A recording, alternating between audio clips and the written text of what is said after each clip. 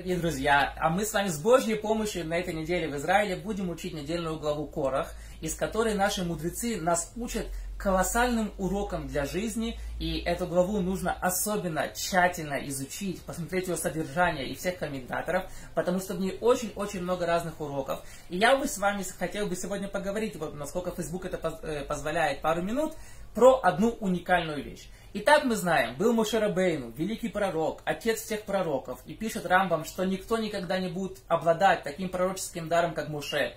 Он э, самый скромный из людей спускает нам Тору.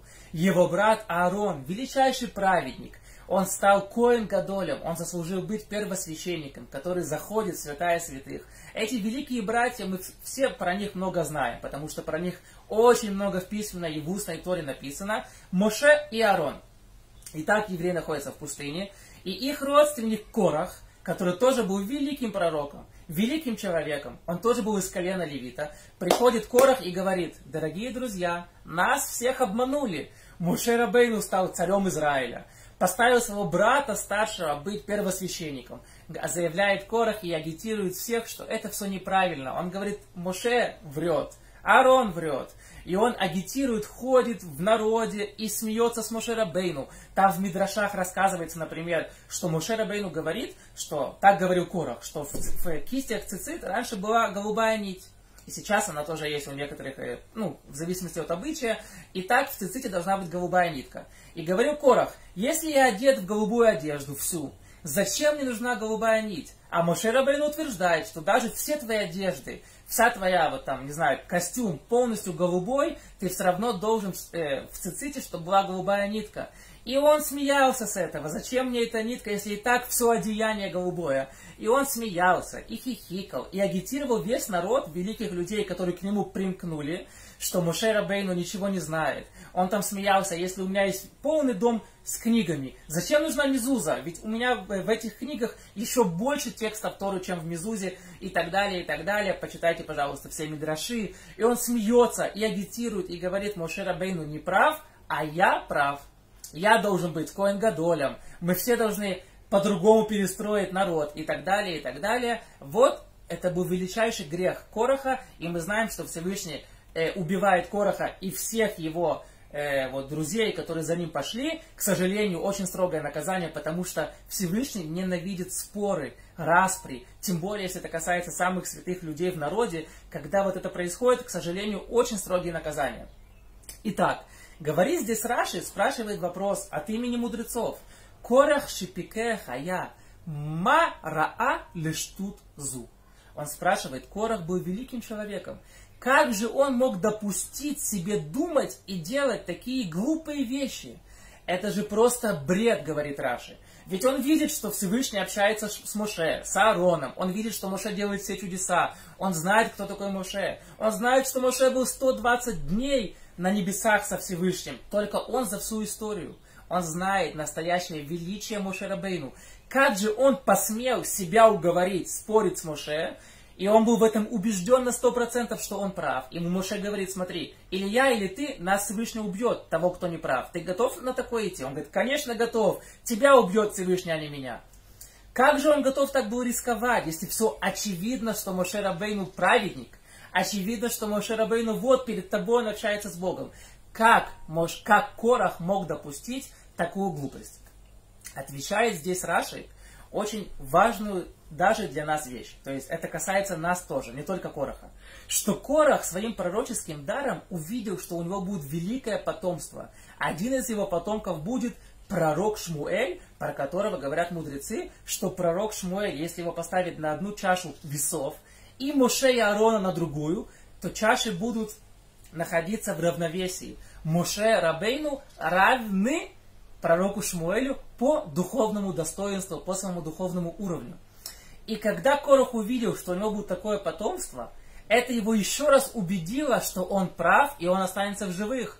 Ведь мне Бог показал, что у меня будет такое великое потомство. Там еще были разные великие люди. Шмуэль и остальные великие люди у меня будут в моем потомстве. Значит, я останусь в живых. И из моего рода появятся такие великие люди. В чем была его ошибка? Моше Рабейну тоже знал, что из этого короха выйдет потом, через несколько поколений, выйдет пророк Шмуэль.